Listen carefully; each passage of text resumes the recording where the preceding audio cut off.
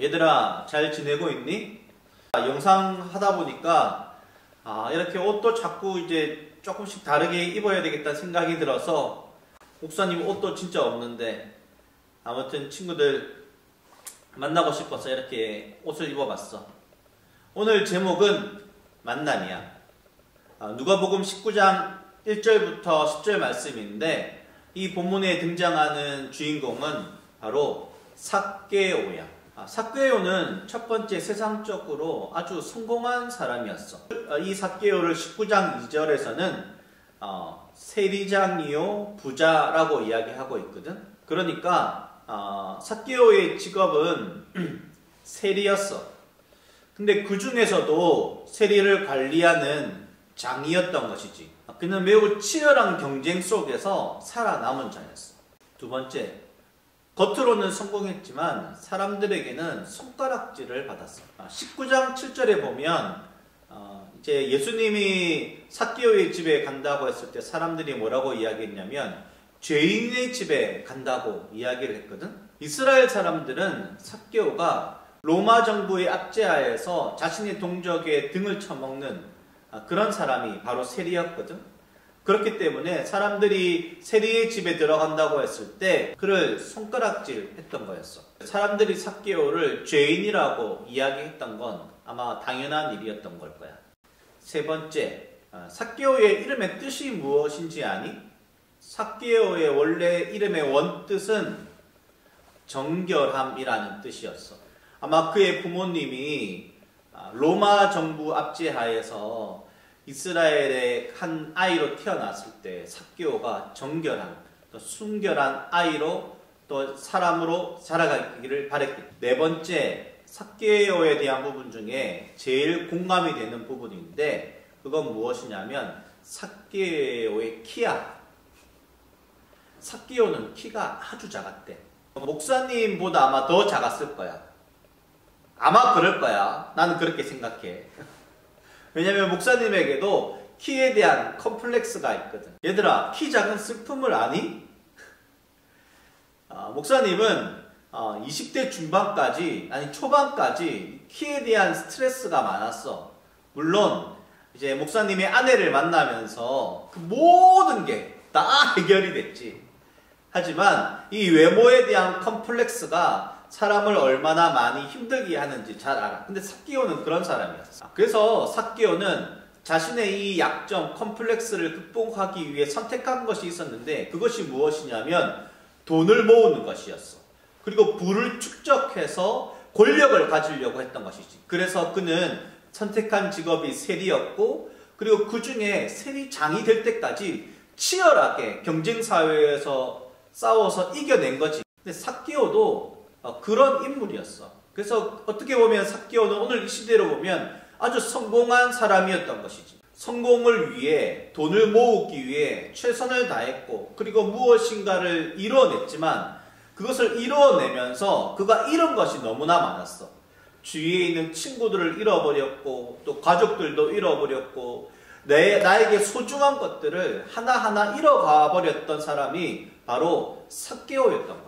무엇보다 삭개오는 그러면서 자기 자신도 잃어버렸어. 얘들아, 얘들아, 우리에게는 영혼이 있다.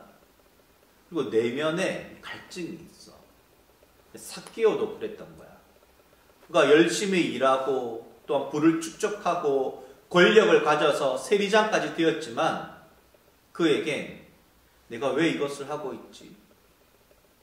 나는 누구지? 그러면서 내면에 갈등이 있었던 거지. 그런데 삭개오가 예수님에 대한 소문을 듣게 된 거야.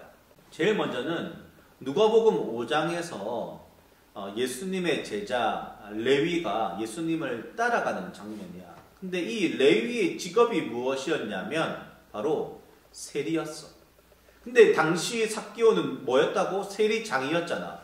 그러니까 분명히 예수님의 제자로 따라간 레위에 대한 소식을 들었을 거야. 어, 그왜 따라갔지? 누가복음 15장 1절에는 이렇게 말씀이 나와. 모든 세리와 죄인들이 예수님의 말씀을 들으러 갔다라고 말씀이 나와.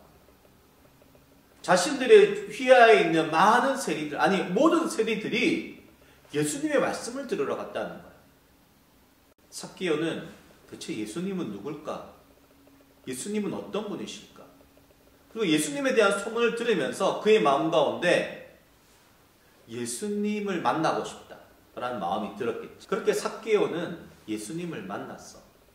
근데 예수님을 만날 때에 이제 여리고로 지나간다는 소문을 듣게 된 거야. 근데 삭기오가 키가 너무 작았잖아. 그러니까 사람들이 군중들이 모이니까 그가 그가 세리장임에도 불구하고 체면을 부구하고 제자들과 사람들에게 중에서도 예수님을 만나고 싶어서 이 나무 위로 올라갔어. 그런데 예수님이 자기가 올라간 나무 쪽으로 오고 있는 거야. 너무 놀라운 일이지.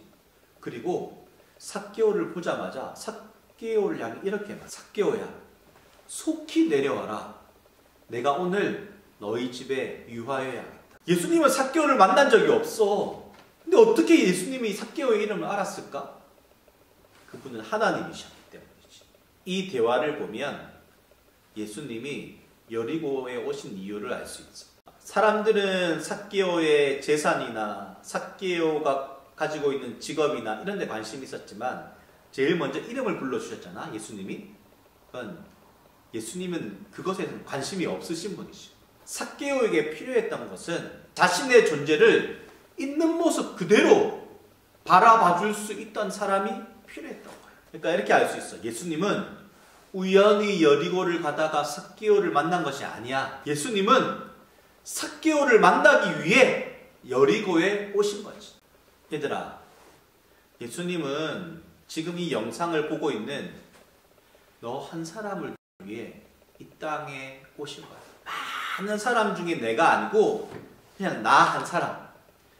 나를 위해서 이 땅에 오신 거야. 그때 삭개오가 어떻게 했는 줄 아니? 바로 예수님을 영접했어. 삭개오는 예수님이 필요했거든. 자식에는 자신에게는 친구도 없었고 주위의 모든 사람들과의 만남들이 다 끊어졌어. 예수님은 참 친구로 있는 모습 그대로 나를 봐주시기 위해 오신 거지. 그 예수님과의 만남은 삭개오의 인생 전체를 바꾸어 버렸어. 왜냐하면 그 만남 속에서 예수님의 사랑을 발견했거든.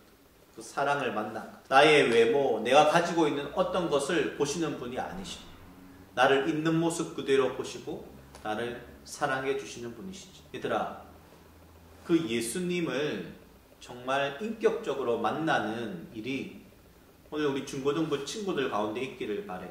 그리고 얘들아, 지난주 목사님이 주일 광고 때도 이야기했는데 초등부 친구들에게 이야기한 걸 중고등부 친구들에게도 부탁을 할게. 그리고 이 영상을 보고 어, 그걸 보내주면 동일하게 목사님도 친구들에게 상품권을 주도록 할게. 어떤 거냐면 코로나를 위한 기도야. 친구들도 코로나를 위한 기도문을 쓰고 그리고 그 기도문을 읽는 거 읽는 거야. 근데 그 읽는 걸 영상으로 촬영을 하는 거지. 그리고 그 영상을 목사님에게 보내주면 목사님도 초등부 친구들하고 똑같이 친구들에게 도서 상품권을 5천원, 5천원씩 보내주도록 할게. 이건 친구들하고 약속할게. 알겠지? 우리 같이 기도하고 또 우리 친구들 같이 했으면 좋겠어. 목사님에게 보내줘. 안녕. 오늘도 들어줘서 고마워.